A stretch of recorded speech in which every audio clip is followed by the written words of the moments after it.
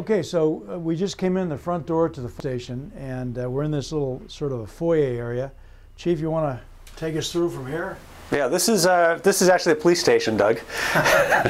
Looks like a closet. Uh, but this is a small. It's maybe eight by eight. This is our lobby.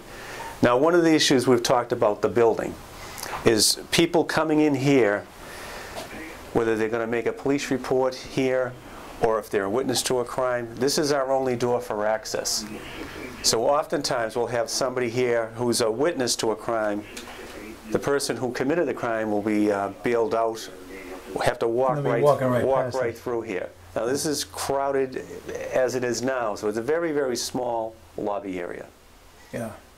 Uh, So if, for, for the, for the public coming in here, uh, so you walk in and turn left and talk to the, uh, the dispatcher, I guess, is Yes. like right in the middle of everything. Yes.